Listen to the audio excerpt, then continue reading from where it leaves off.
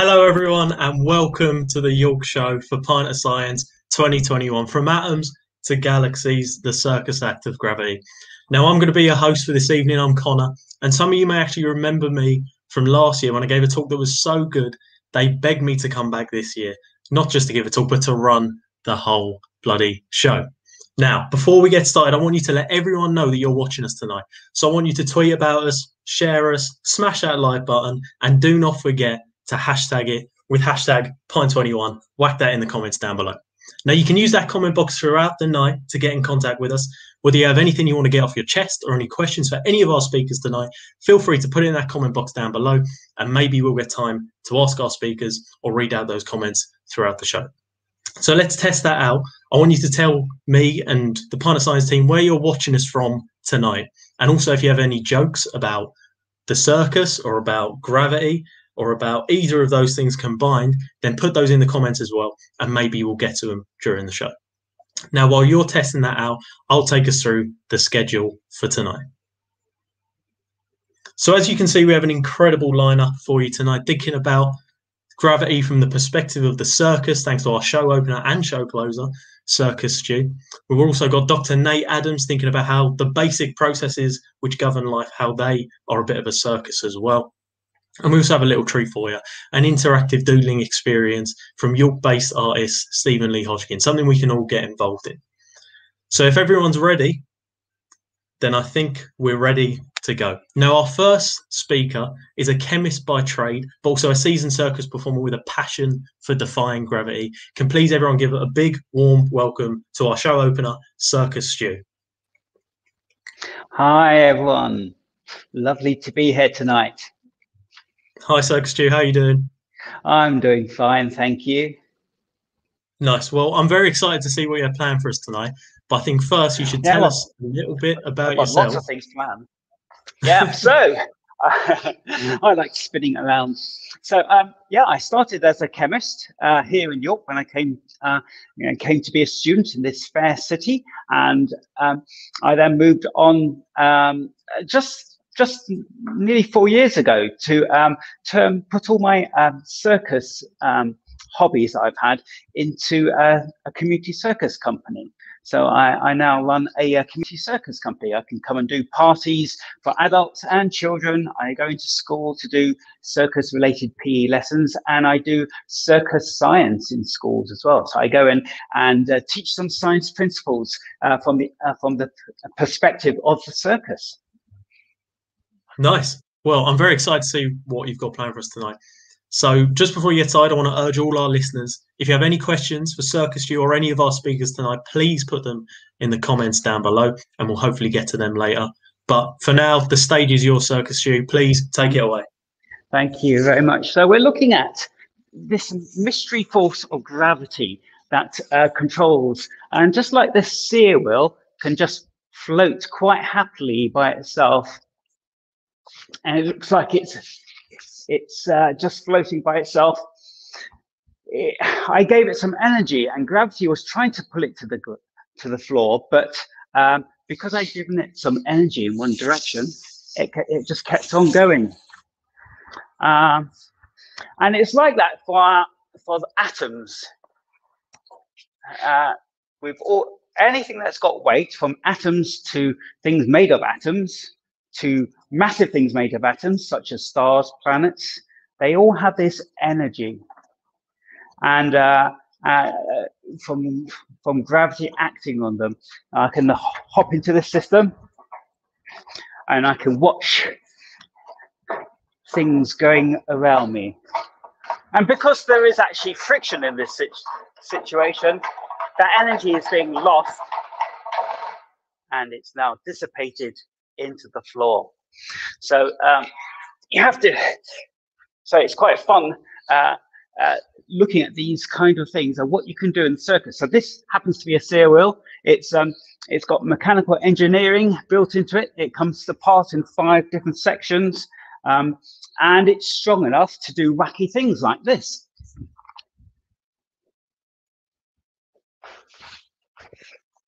So we shall put this down for a second. And we're going to look at some things we can do together uh, this evening in circus. So, um, of course, the problem with um, a lot of circus things is that it requires a bit of training.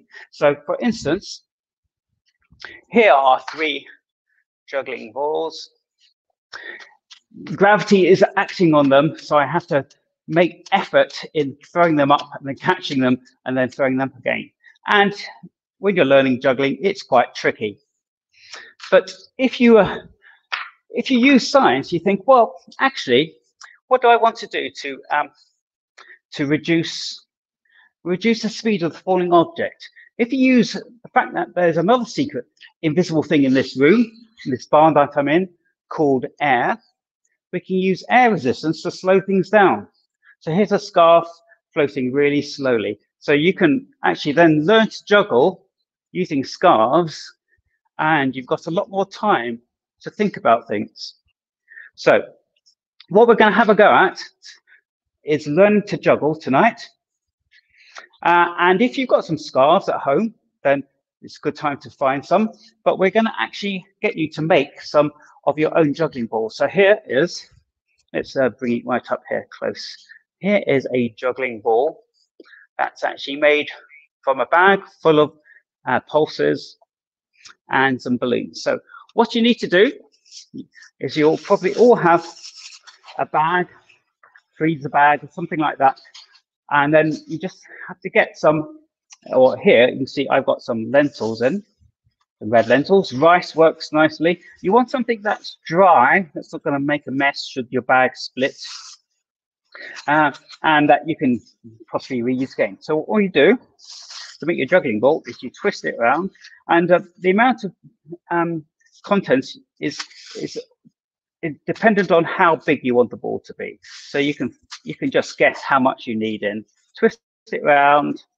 I'm going to do that around like that, and then then with the balloon and a pair of scissors, you cut the neck off the balloon. Now, most people find it quite tricky cutting balloons. Um, it's actually harder than you think. You need quite a nice, precise pair of scissors. So now you open up the balloon at the neck, and you simply stuff the balloon over your bean, your bag full of pulses or whatever it is. So can you see? We've got a really nice Just fill it around. So if you'd left the neck on, then um, that would be much harder to stuff. You see, we've only got a little bit now. I if you remember my, my one I made earlier, I've got a second uh, covering on. So if you get a second balloon, I've got a green one here.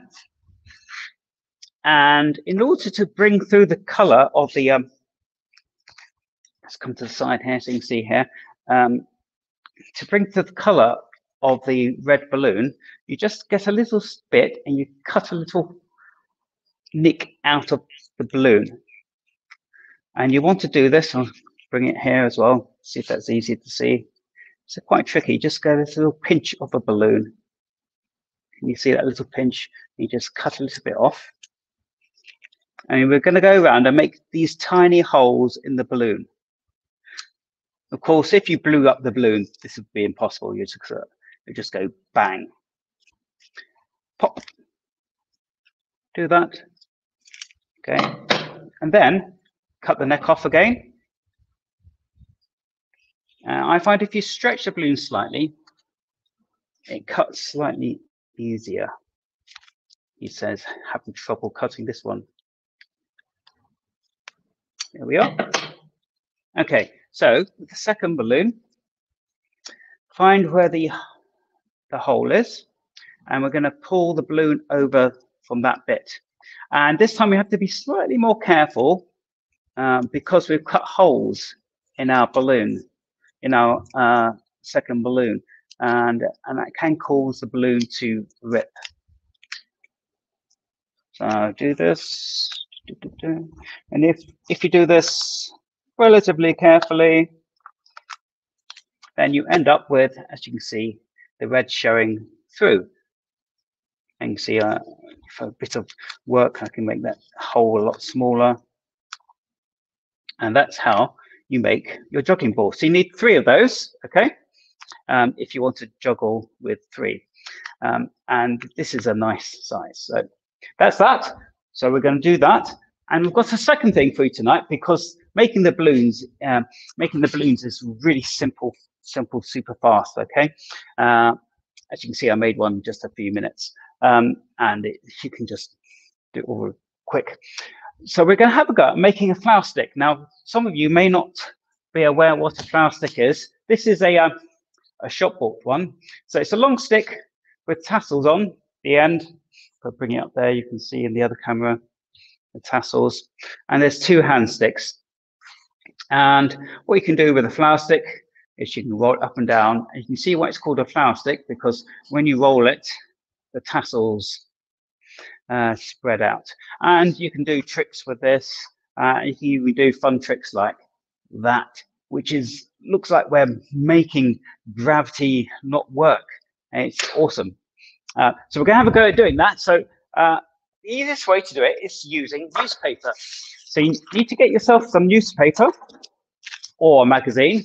Um, newspaper tends to work a bit better because uh, to make flower sticks work, we have to have a bit of friction. And if you use a smooth magazine or maybe A4 printer paper, um, there's not much grip. It's much smoother than than the, the cheaper newspaper that we get. So get some newspaper, and what you have to do uh, is roll up. Let's get um, several sheets. I've got about four sheets here. Roll it up. So I come really close, I normally try to start off the rolling bit by folding a teeny, like half a centimeter width there. Okay, if you do this on a table, it's much easier. I'm doing mid-air, so it's much harder. So we go like that, and you have a and you have a the central roll. Then, if you at this point you have some elastic bands to hand, then you can you can pop it round there. There's the second one, and then that gives you time to then go and get your sellotape and to seal um, uh, the tube. So you're going to do that. You can do the same, but on a smaller scale. Um, here's here's one I've done earlier. Um, this is using A4 paper. So this these are the hand sticks. So these are really tightly wound because paper, as you may be aware, has very little strength. When you roll it up, then then you um, strengthen it. And what we want to be careful is when we're catching the flower stick, that the actual hand sticks don't bend.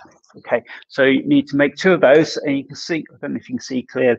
I've I've put a whole load of line of sellotape from one end to the other. Again, I used uh, elastic bands. So once you've done that, we're then gonna. So I have my tube there.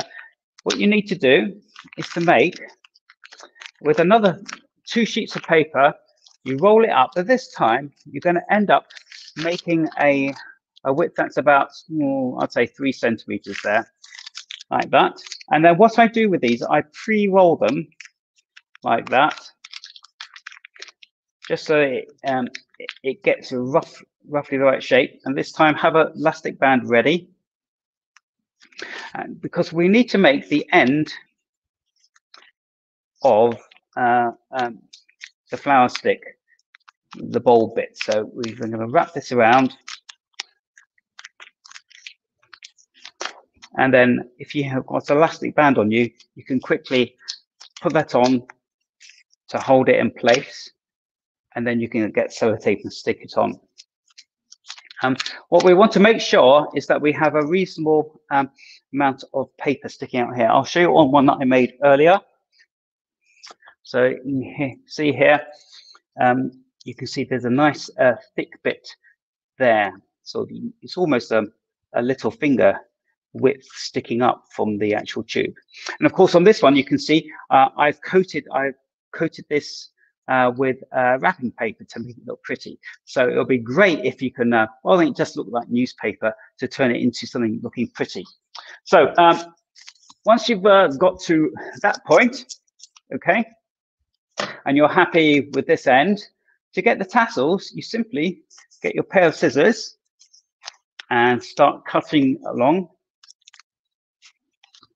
And sometimes it's better to not stick anything until right at the end. So you can slide that down to make it easier to cut along. If you make, you can make these a centimeter long, it really doesn't matter. So you then spread them out and you've got your tassels. Um, so I haven't actually made those ones particularly uh, long. It doesn't really matter how long they are.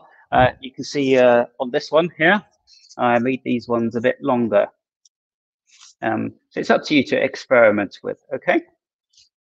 Uh, and then you, of course, then for this one, you have to make a second ring at the end, cut that end so that you end up with something looking a bit like that. So uh, hopefully you can uh, do that while you whilst you watch the rest of the show quite easily.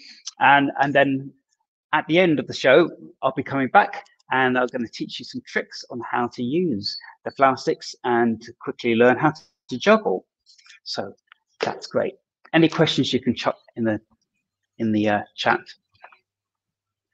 Thank you so much, yeah. Circus Stu. That was great. Great instructions. Now we're going to be seeing you, yeah, as you said, again at the end of the show.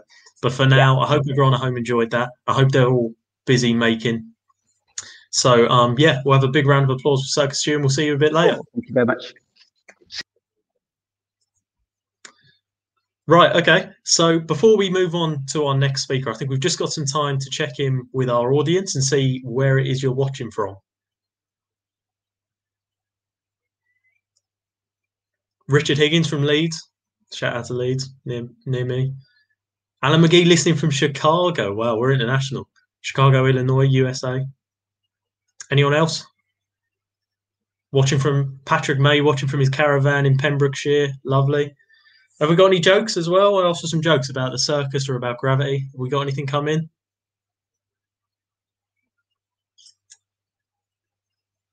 Oh, here we go. Okay, so we got a joke from uh, someone called Liam Barrett. He says, "My friend was sacked from working on the Dodgems. It's okay though because he's suing them for funfair dismissal." Brilliant, great joke, classic. Keep them coming in. Keep the jokes coming in. Keep telling us where you're watching from, and also tell us what you're drinking tonight because this is pint of science after all. So now it's time to introduce our next guest, Dr. Nate Adams. Now, Nate is the is currently the senior science officer at Nanotemper Technologies, based in Munich, where he's speaking tonight. But he's also a freelance science communicator with a passion for aerial circus. So please give a big warm welcome to Dr. Nate Adams. Hello.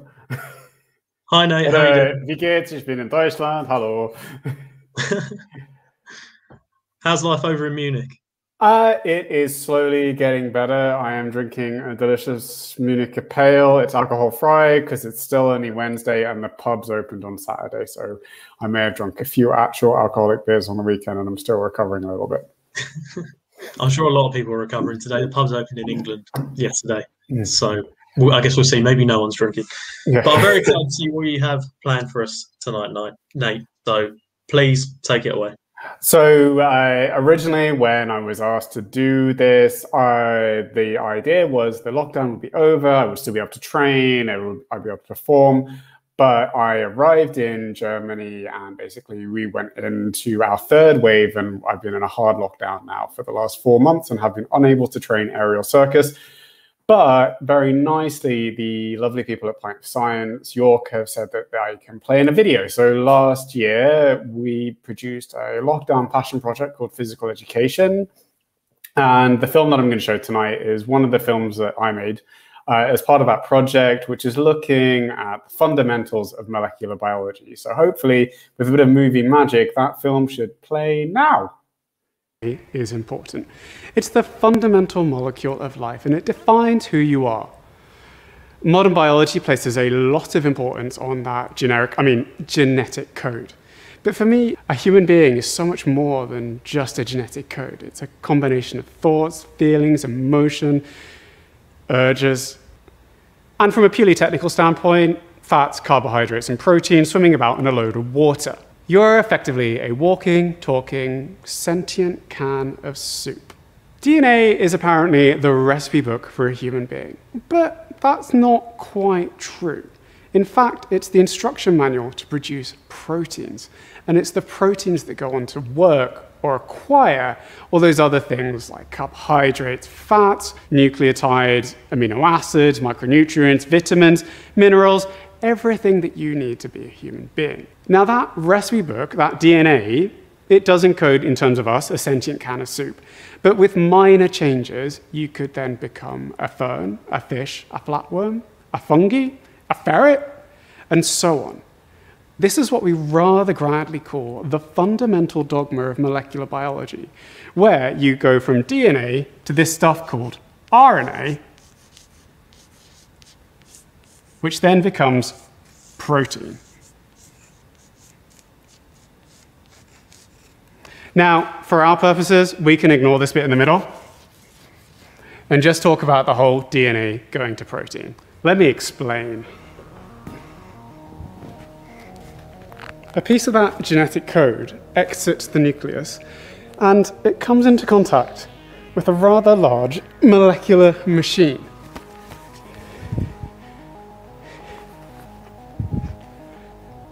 It's called a ribosome and it's gigantic, biologically speaking.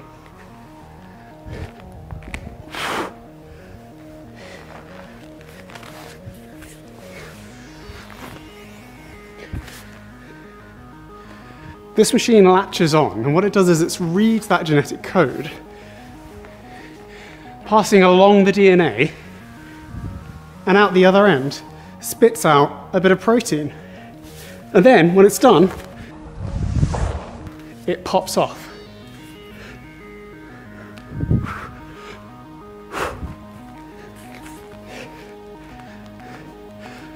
But at this point, you've just got a long line of floppy protein. And everything in biology is defined by its shape. It needs to fold.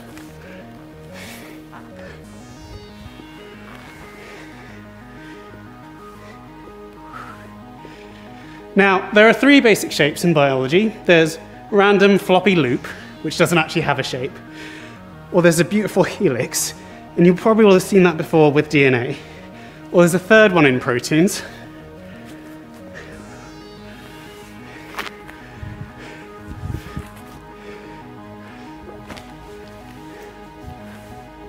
And that is called a sheet. These are long protective regions that sort of protect the inner cores.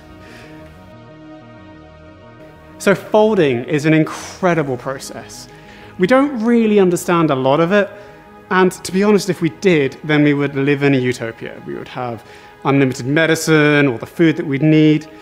But I don't know whether you've noticed, we don't live in a utopia at the moment. Now, even with our best supercomputers, we can get like a vague idea. Now, we have other ways of getting pictures, but what the protein is doing is it's folding up, hiding all of its water-hating bits on the inside and keeping all the water-loving bits on the outside. What it's doing is it's hunting for its most energetically favorable conformation.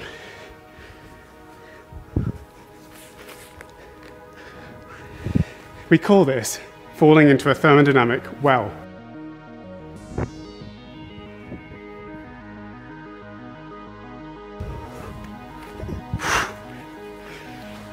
And once we have a folded protein, then all the fun begins.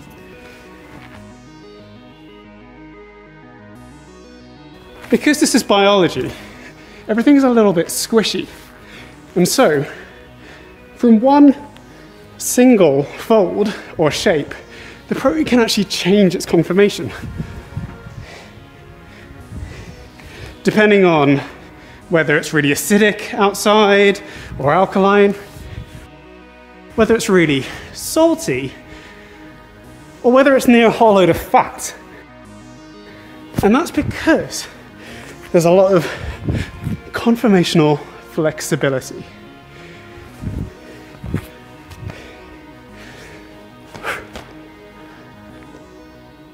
Oh, look, it's a rope.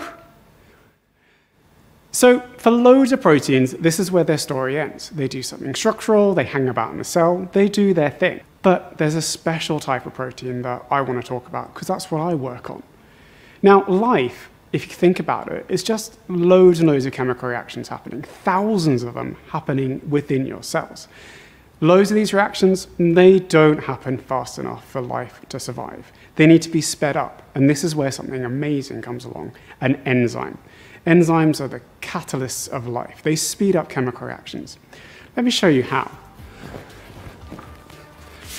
Let's just take any old random enzyme. It's probably just sort of hanging out, floating around in the cell, gently pulsating. Maybe it's a bit more excitable, and then suddenly, maybe something that it wants to bind to comes along and it changes its conformation. It binds to it, and this enzyme will then act on it and do something to it. But when it's done, it will reset and then just float about in the cell again, doing its thing. I work on enzymes called molecular motors, and these are motors in the truest sense of the word. They take in a cellular fuel called adenosine triphosphate, or ATP for short, and they burn a chemical bond between phosphorus and oxygen. This produces something called chemomechanical motion, which is then transferred and then used to power a reaction. For example, muscle movement. But for this bit of the routine to work, uh, it's pretty hard to wear a microphone when you're not wearing any clothes, so I've had to use a bit of movie magic and my psychic powers to tell you the story. Muscle movement is powered by molecular motors. And within your cells is an amazing architecture, a cytoskeleton made from a protein called actin. For your muscles to do their thing, a molecular motor called myosin grabs onto this skeleton takes some of that chemical fuel, adenosine triphosphate, or ATP, and then burns a phosphorus oxygen bond to produce a power stroke. And without molecular motors working consistently and precisely all the time, not only could I not move about in the air, I and you couldn't move at all. And what I find remarkable about all of this is that it's not just happening in me while I'm prattling about on this rope, but this is how all movement happens. And even when you're not moving, your enzymes are working, your molecular motors are doing things, your heart is constantly beating, your liver is removing toxins from your blood. This incredible dance occurring at the nanoscale within your cells is allowing you to survive and to thrive.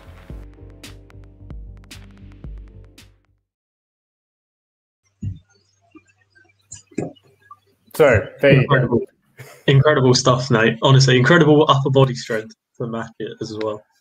I miss it now. It's been a while, but I do. Tomorrow, I'm allowed to go to a circus space and actually practice and train for the first time in four months. Five months. Five months. I'm just really excited.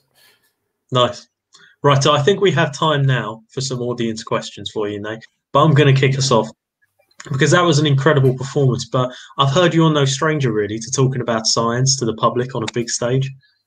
Uh, yeah, I mean, I've been doing it for uh, quite a few years. I'm, I'm, I'm pretty old now. Uh, so yeah, a few years ago, well, when I was doing my PhD, I was in that really depressing part of my PhD where you hate everything, no experiments are working, nothing's happening, and I accidentally got a job with the BBC, and they took me on tour, and then they were nice enough to throw me in front of the camera for a few BBC shows.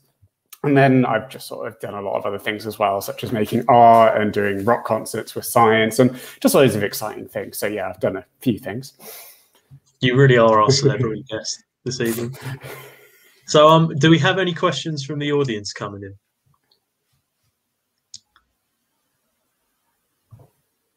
Pierre, our chapter manager here in York, says it's amazing to do that routine whilst science communicating, which it really is. Oh, thank you very much. Uh, it took a lot of learning how to breathe properly. So this is one of the things. Um, you can actually watch a few of the films that we made um, on a website called physicaleducation.uk. And the hardest thing about practicing and learning how to do this was learning how to breathe properly. Because when you're doing circus, you also have to think about breathing in terms of when you're inverting, you breathe out, when you engage your abs.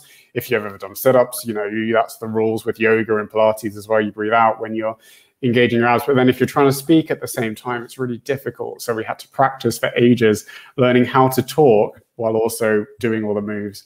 So yeah, thanks. I was that actually set up my next question. I was going to ask you what took longer, learning the process of protein synthesis off by heart like that, or learning that aerial silks routine.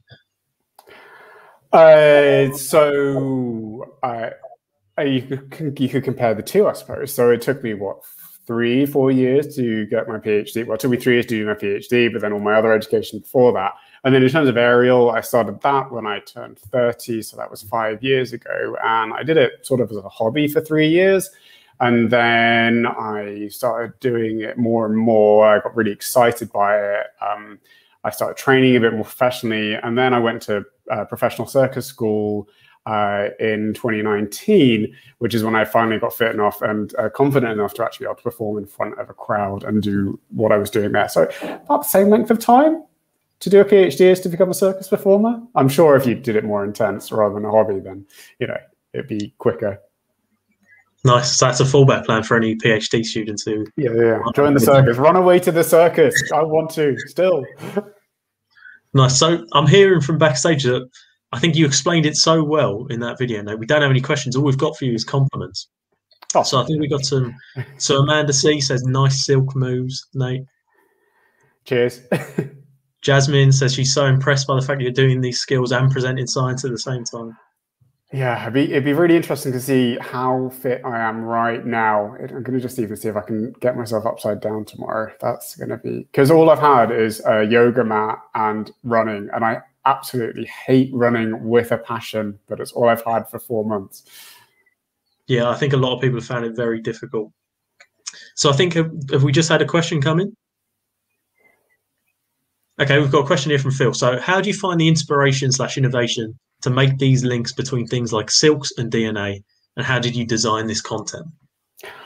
So, one of the key goals with this project and also with the science communication that I do is to look beyond the usual ways of communicating science. So, you know, when you see a lot of circus science stuff, a lot of it is about gravity. So you'll see people who do the pole, the physics of pole dancing and things like that, which is great. But I wanted to try and see if you could be a bit more um, lyrical with what you're doing, be a bit more descriptive using the shape and the, and I'm not a dancer in any way, shape or form, but to use your body movements to help describe other physical processes. And the thing with silks is that uh, there's a whole part of it called wrap theory, and all those different wraps that I was doing involves understanding how these fabrics come together to hold your body in position and maintain friction. And that's really, really key. And I think that also works really well within protein folding as well, because it's those different conformations that allow you to produce those beautiful shapes. So that's where it started coming in my head. And then I was like, well, let's see what I can do with it. Let's see if I can make a little routine based on this. And because I like talking about science, I thought science, circus, biology, science communication was the way forward. Brilliant. So I'll just finish off with this, Nate. And it's quite similar to Phil's question, but we've obviously seen you communicating science tonight, and you've been doing that for some time. And it's clear you're still passionate about it. So, what do you think it is about science itself that has allowed you to keep that high energy and passion when you talk about science to members of the public? Because I just really like doing science. So I'm lucky enough that I'm still able to get in the lab. You know, I was in the lab this afternoon. Um, so I have this new job over here in Munich where I'm working in biotech now. So I've moved away from academia for the moment, working in biotech, and I'm just working with the most amazing instruments, working on some of the hardest problems that we're facing in biology at the moment. Uh, uh you know, especially with the COVID pandemic, I, I'm, I, I, weirdly I'm considered an essential worker on that because I am working on that at the moment, and I just get very excited with what we can reveal and the speed of current biology, current molecular biology and current technology that we can adapt to situations that have arisen. And yeah, I just find that super exciting. So I still love being in the lab, and I, that's what gives me the drive every day to continue working. But also, I love talking about science because I think science should be a part of everyday society. It shouldn't just be this nerdy thing that some people do, but I think it should just be part of who we are as society. Completely agree. Nate, been fantastic. That's all we got time for at the moment. We might join you again at the end of the show. But thank you so much. Thanks, thanks so much for the contribution tonight. Cheers. Please, everyone, give a big round of applause to Dr. Nate Adams. Right, so before we move on, I think we've now just got a bit of time to check back in with our audience. So I asked you what you're drinking tonight because this is Pint of Science. I'm on the waters at the moment, but I'll probably treat myself later. Maybe have an alcoholic lager beer. Don't know. Any any anyone tell us what they're drinking tonight? No? Come on, someone give me something. No, we got nothing. No one's drinking tonight. You must all be hungover from the pubs opening yesterday. So I guess we'll move on. We've got a little interlude for you now, a nice little treat, an interactive experience that everyone at home can hopefully get involved in. I hope everyone does get involved in it. Please welcome a York-based artist. He's a community printmaker, a doodler, and a self-taught artist Please welcome our special guest, Stephen Lee Hodgkins. Hello. Hello. Hi, Stephen. You're right. How are you doing tonight? I'm really good, thank you. How are you doing? I'm very good. Have you been enjoying the show from backstage? I have. Yeah, I have. It's it's uh, really really interesting. Nice. Well, um, you've got some interactive art-based activities we can get involved in at the moment, yeah, right? And I've tried to kind of go along a uh, user um, a gravity based theme. Um, so I w- w- I've asked people kind of if they brought a piece of paper and some pens to have a think about kind of doodling.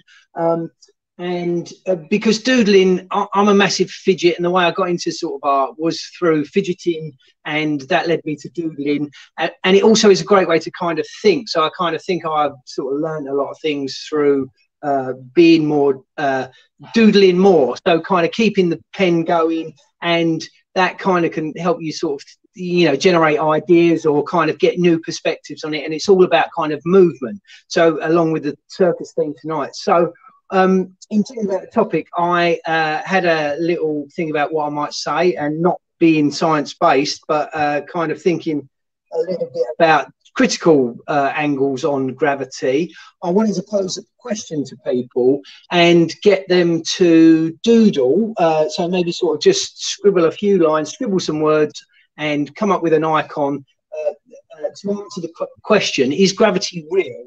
Or a social construct. And maybe what you can do is send that in at the end. So what I'm going to do is I'm going to give you a bit of a whistle uh, stop tour of uh, some of the things that I found out about gravity and social constructionism and uh, see where we go from that. So, does that sound good? Yeah, that sounds great. Okay. Take it away, Stephen. Okay, so. Um, so kind of you know is gravity real or is it a uh, social construct so um, as we've uh, seen from nate and the lovely Stu um, gravity is an understanding about how things are um, brought towards one another. Uh, why apples fall off of trees, why the moon causes tidal waves, why the ink flew off of this pen and uh, stayed on the paper. And also, it is um, a seemingly unquestionable fact. People say that gravity is really real because if you walk off a cliff, you will plummet to your death. And also, Nate demonstrated that uh, with his uh, with with his strength on the silks. Um, Newton suggested that gravity is a force that attracts two things towards one another, and Einstein described gravity as a curvature of time and space caused by mass energy. Oh no, have you lost me? Sorry, you lost me there for a moment. Am I back? Yep, I think I'm back. um, but what about gravity before Newton and Einstein? Did people think of it as magic? Um, and did it have any re- relevance in their lives as they kind of went about mucking out the horses? Um, so I want to kind of switch over here now to uh, tell you a little about kind of social constructionism, um, and which is kind of an understanding about how knowledge and meaning is made up through the in the world through language and communication. Um, so how we kind of use our, our, language kind of brings our realities to uh, our experience of being in the world. Um, and it and it does this because it suggests knowledge and assumptions about reality are fluid, contextual, and embedded within experiences of power, you could argue, and culture. Um, social constructionism doesn't say gravity isn't real necessarily. Rather, it highlights the role of human language and cultural values in the way we come to know and frame it. We only know three things through the words we use with others to interact with them. But doesn't that just lead us up the garden path? Reality exists, but only through language and social interactions. And what about social constructionism before language? Was that magic also? So I want to tell you a little bit about uh, gravity and the something called the Sokal hoax.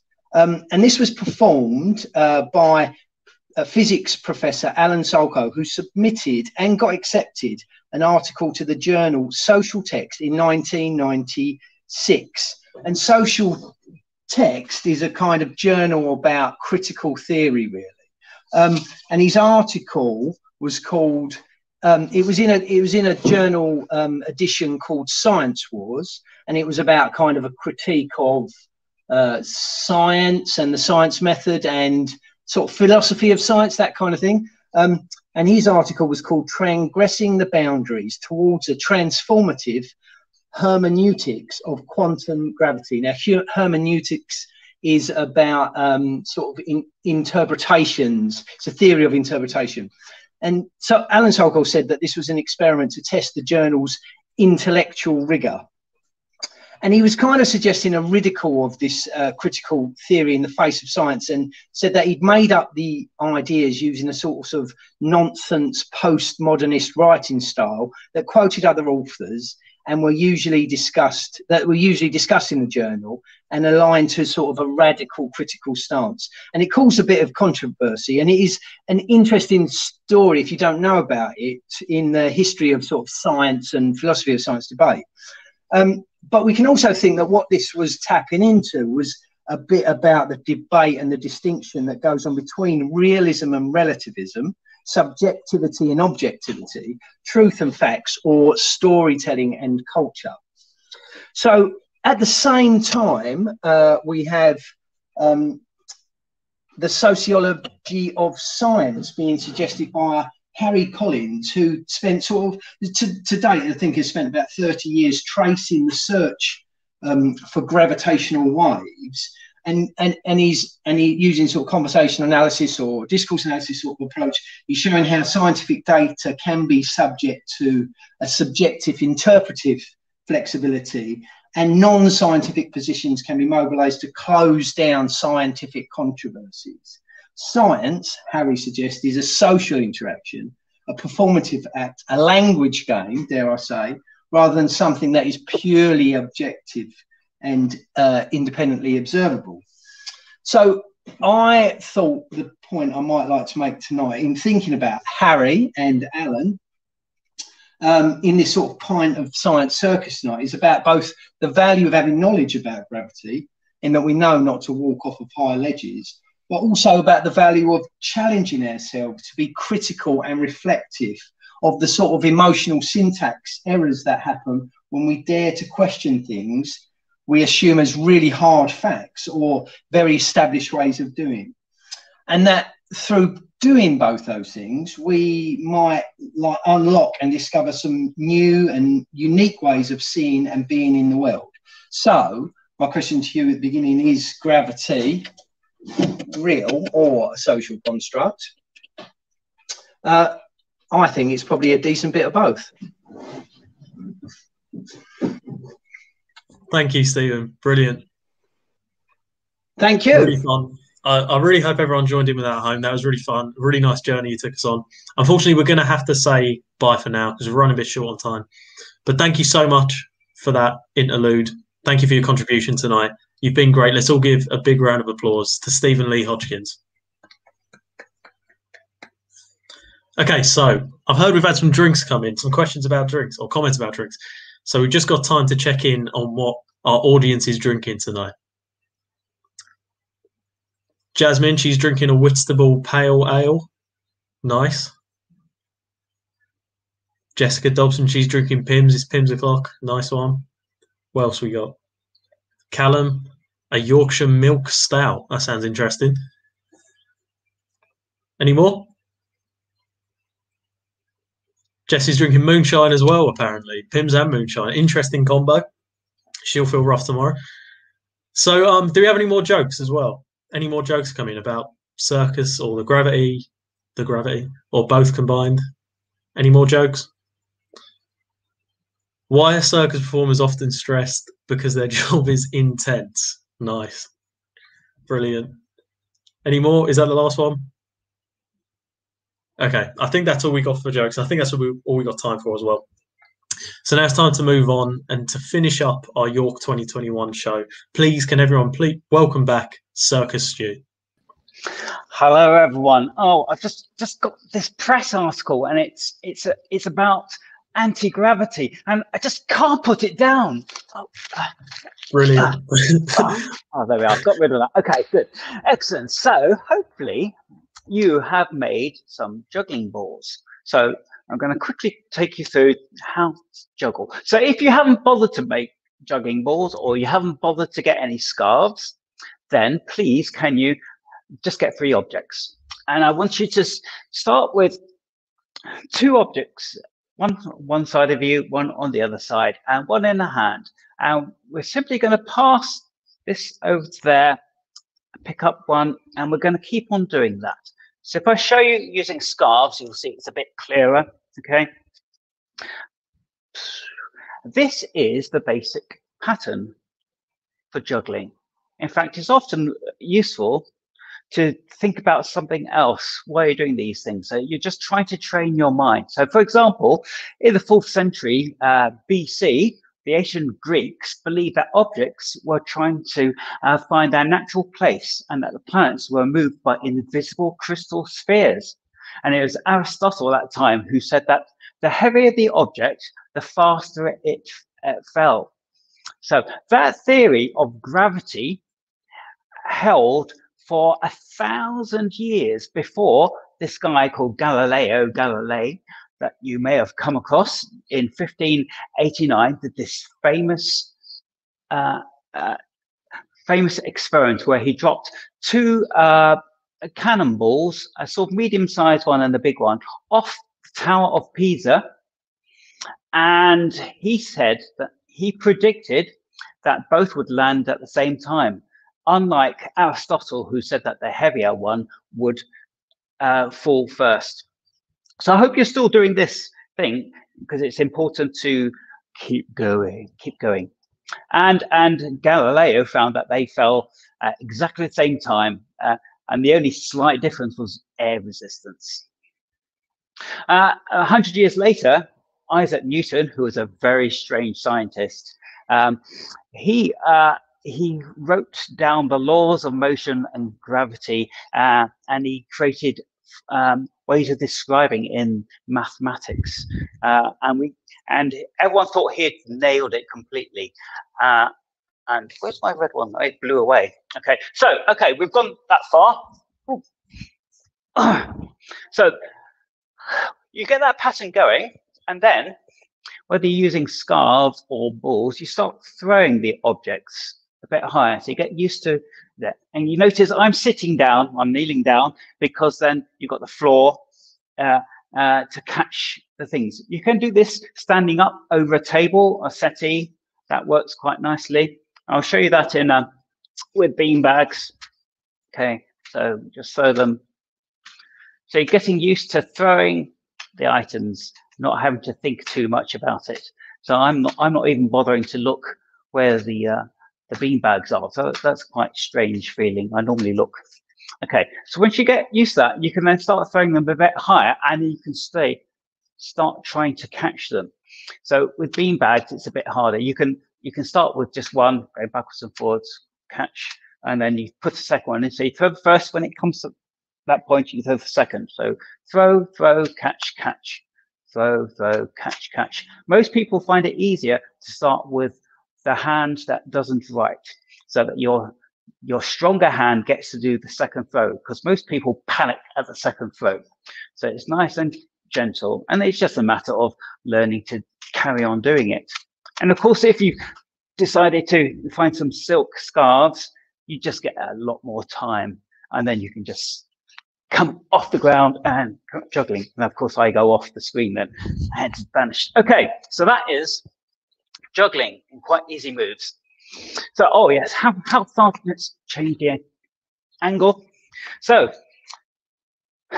hopefully you have created your flower stick and and you've created two hand sticks. So if we just have the uh, main front camera at this point, thank you. All the clever people there. So the first trick you can try is simply rolling it backwards and forwards. And depending on how much friction you have between your flower stick and your hand sticks, it might go rather quickly or it might go slowly. Uh, it'll go slower if you've made big tassels. Um, if you've got really smooth paper, as I have at the minute, because I covered it, covered the newspaper with a wrapping paper, it'll go much, much quicker. Oh. Uh, so you, you, do that. You can try throwing in the air and catching. And this is when you start testing. Uh, so I've got some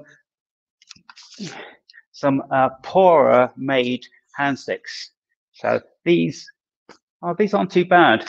But uh, when you uh, start throwing these objects, this is when suddenly your your flower your hand stick can start bending when you catch it and then that's not good and you have to just make a new one uh, roll up uh, it's even tighter so get used to throwing it, and then you have a little go at doing a somersault.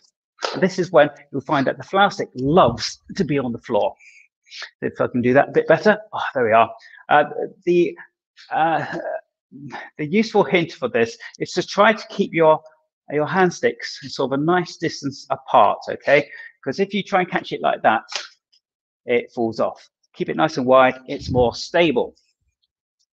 Okay, and so, and the last trick I want to show you to see if I can achieve what I showed you at first is uh, uh, show you this in slow motion as much as slow motion can happen. So you're going to drop one, it's going to spin down here. When it reaches that point, we're going to just rotate the stick around in little circles like that to keep it going.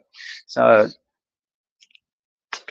as you can see, that didn't work very well. I, this one I haven't sellotaped yet which I'm sure that doesn't help. Oh, I got a few turns then. Let's try this again. Oh, yes.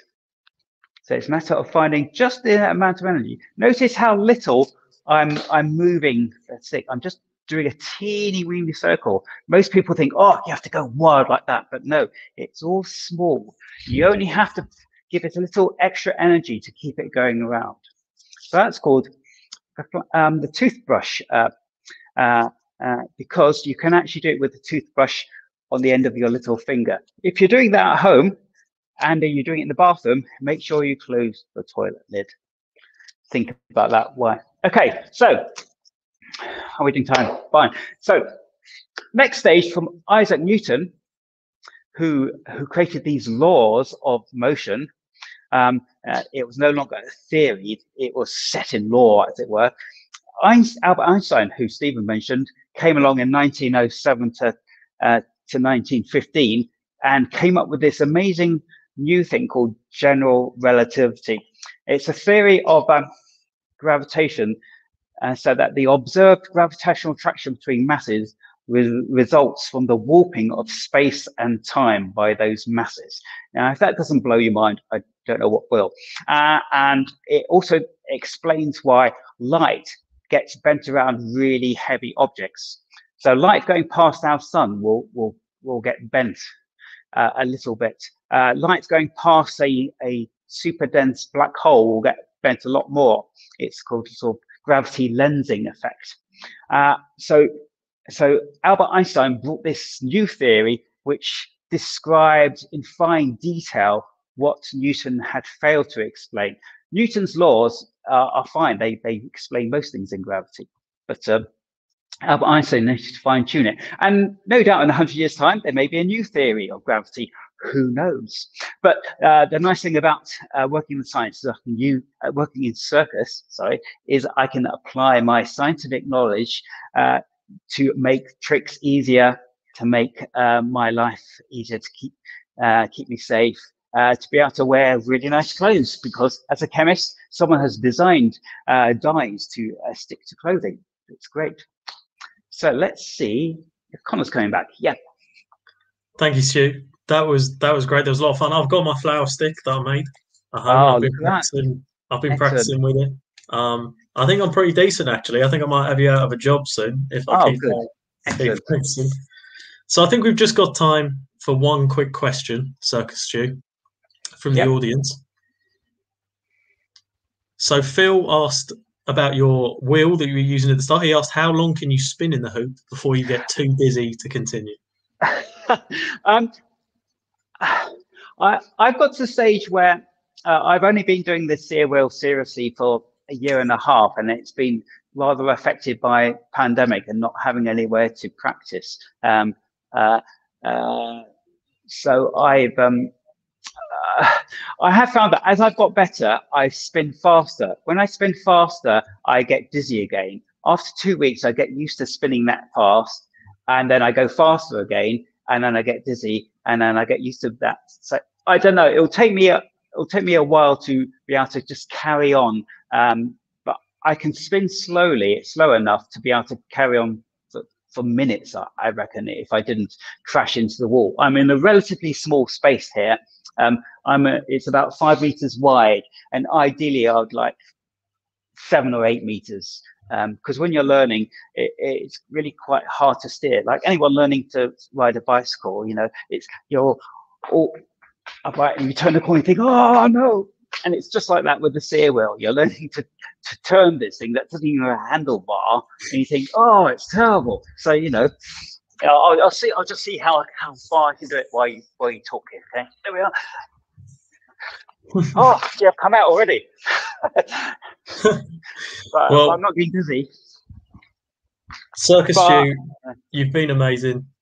Thank you so much for kicking off and closing show for us tonight. That's okay. It's a pleasure. Hope everyone at home gives a big round of applause to Circus Stu. Okay, so we've just got quick time to check back in with the audience. I think what what's everyone drinking, where they're from, any jokes? Bob, he's drinking dihydrogen monoxide. Very funny. Yeah, glass of water. I'm on the waters as well. Anything else, or is that it? I think we're nearing the end of the show now.